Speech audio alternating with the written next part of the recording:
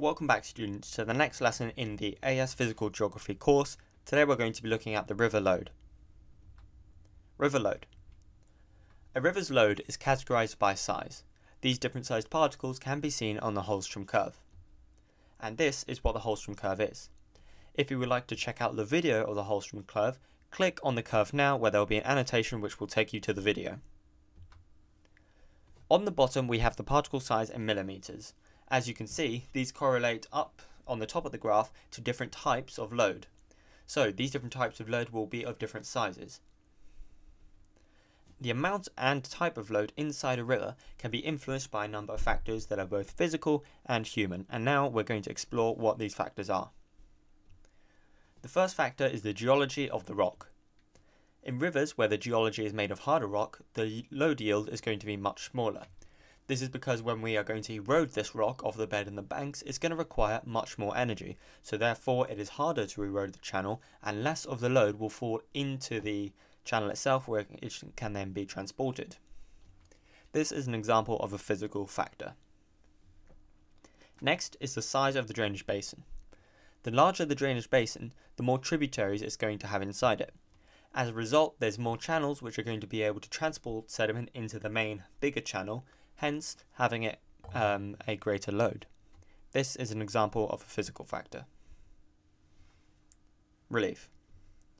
Drainage basins that have a less steep relief are going to have less gravitational potential energy to erode the channel with.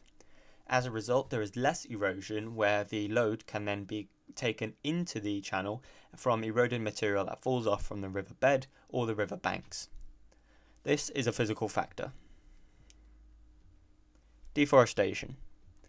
In areas that have been deforested, there are very uh, little trees that can be able to hold the soil together. Now, trees are kind of special because they have roots which bind the soil together, which make them much harder to erode.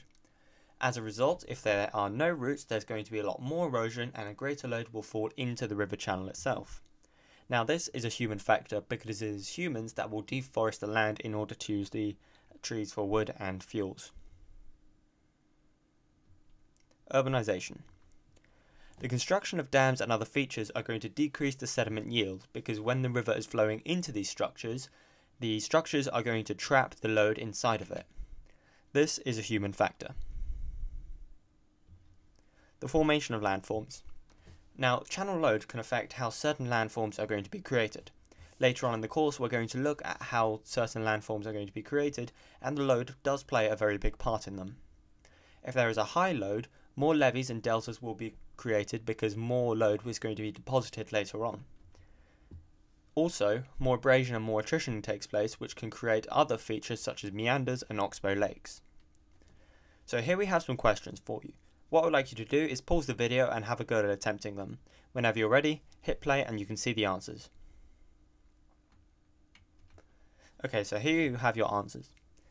Once you have checked them over, be sure to then either advance if you got them all right, or just go over your notes once more so you can be sure to get them next time. This has been the end of the lesson. Thank you so much for watching as always, and next time we'll be looking at valley profiles. If you have any more questions or would like some more information on AS Physical Geography, be sure to check out www.revisealevel.co.uk. Until next time, I will see you then. Goodbye.